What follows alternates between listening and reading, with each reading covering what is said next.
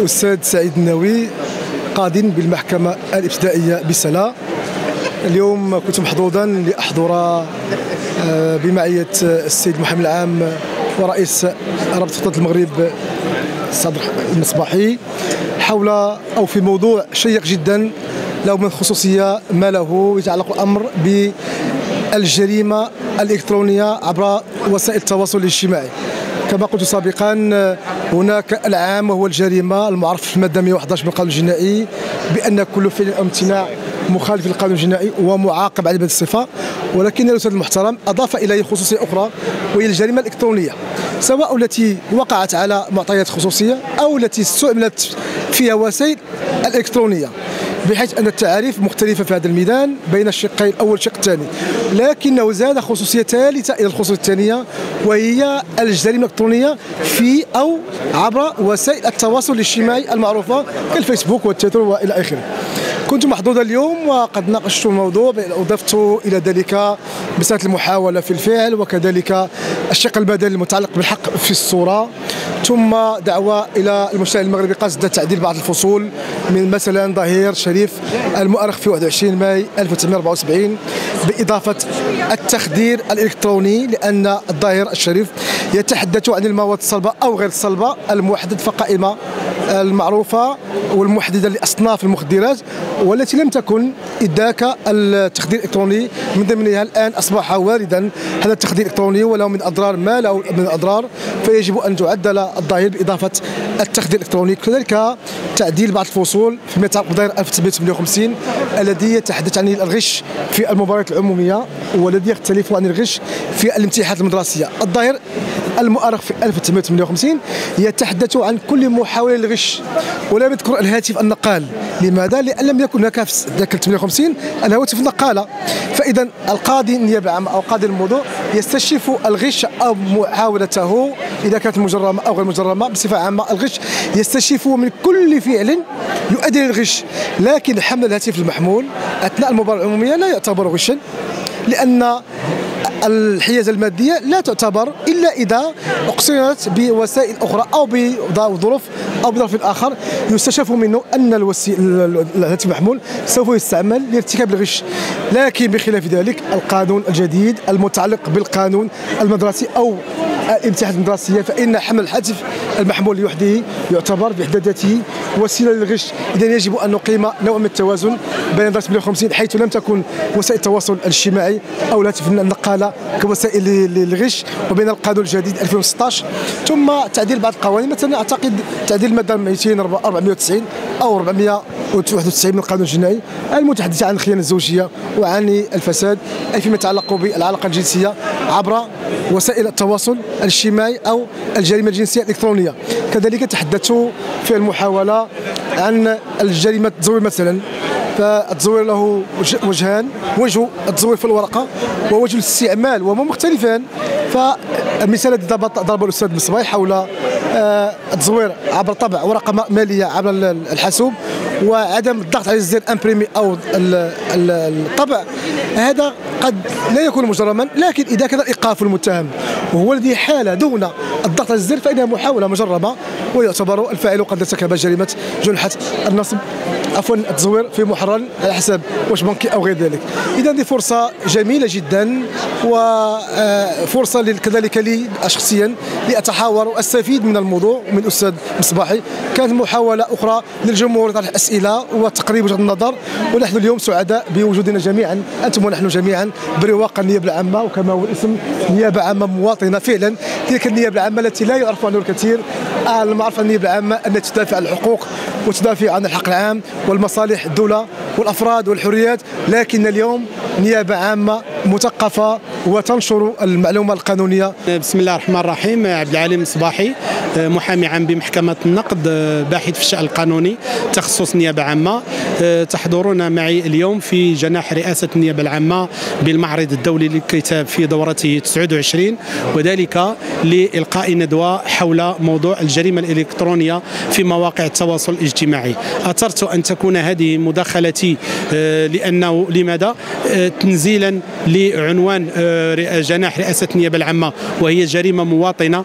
نحاول من خلال هذا العنوان أن نتواصل مع المواطن أن نقدم له الأمور التي قد تغيب عنه خصوصا في المجال القانوني أن نعرفه أو نشعره بخطورة هذه الجريمة التي هي تتأرجح بين الإباحة والتجريم حيث أن عدد من الأشخاص قد يرتكبون جرائم متعلقة بالجريمة الإلكترونية وهم غير آبهين وغير عالمين أنهم كانوا موضوع ارتكاب جرم أو أنهم كانوا ضحايا جرم ولا يعلمون ذلك. فهذه الجريمة هي دخلت إلى البيوت بدون استئذان مست الحياة الخاصة للأشخاص أثرت على المؤسسات العمومية والدولية بل أكثر من هذا أن الحرب القادمة لا قدر الله قد تكون حربا إلكترونية بامتياز. يعني أن لن نجد جنود ولكن نجد أشخاص يتقنون الإلكترونيات والمعلومات بشكل جيد وباستطاعتهم أن يشلوا حركة العالم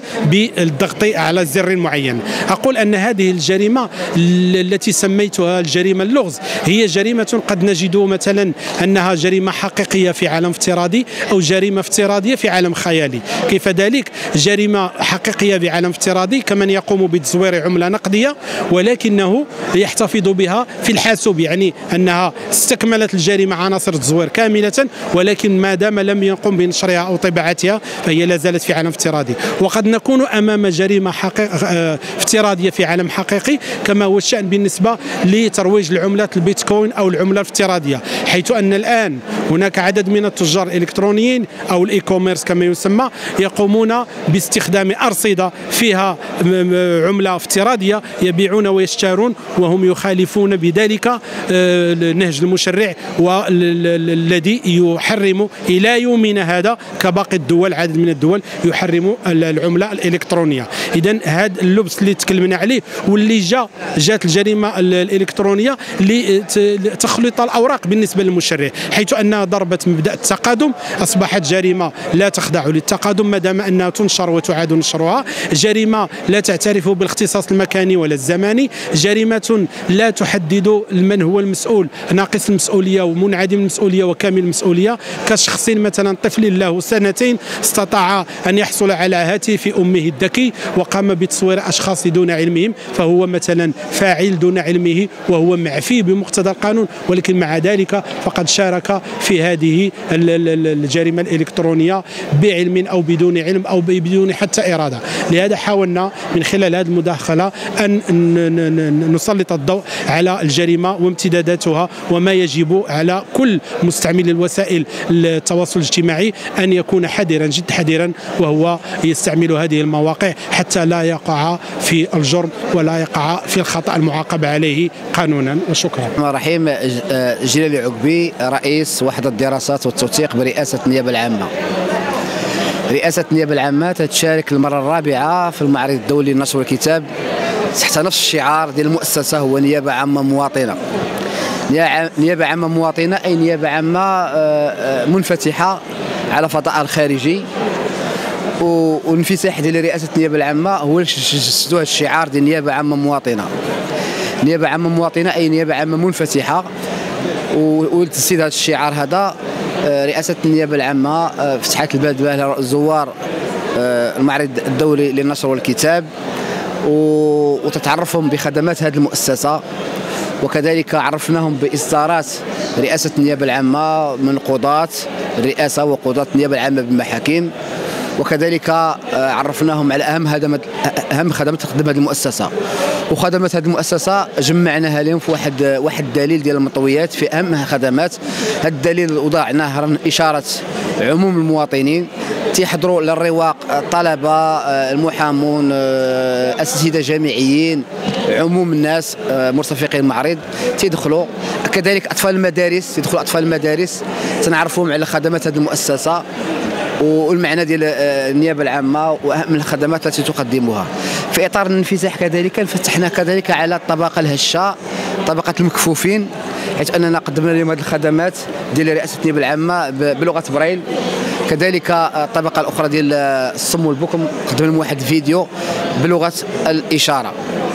كذلك المشاركة ديال رئاسة النيابة العامة في المعرض كانت بواحد البرنامج مكثف برنامج مكثف فيه عروض ولقاءات تواصلية. هذه العروض يقدموها قضاة وأطر النيابة العامة. ومن بين هذه المواضيع المهمة اللي قدمت رئاسة النيابة العامة كاين موضوع آه، آه، الاعتقال الاحتياطي وتعزيز بديل بدائله. كاين آه، العنف الرقمي. كاين الجريمة الإلكترونية. كاين موضوع قراءة في مناشير ودورية رئاسة النيابه العامة كاين موضوع آخر تعزيز الولوج إلى العدالة. خدمات رئاسة النيابة العامة كلها جسدناها في هاد في هاد في هاد في هاد في هاد العروض. وطبيعة الحال تنفتحوا باب المناقشات المواطنين تطرحوا التساؤلات ديالهم وتنجي وتنجاوبوا عليهم. هادشي كله باش نجسدوا ذاك الشعار ديال المؤسسة نيابه عامة مواطنة أي نيابة عامة منفتحه على جميع المواطنين. شكرا على المشاهدة. إذا أعجبك الفيديو اضغط على زر الإعجاب. لا تنسى الاشتراك في القناة وتفعيل الجرس وتابعنا على مواقع التواصل الاجتماعي. مرحبا بك.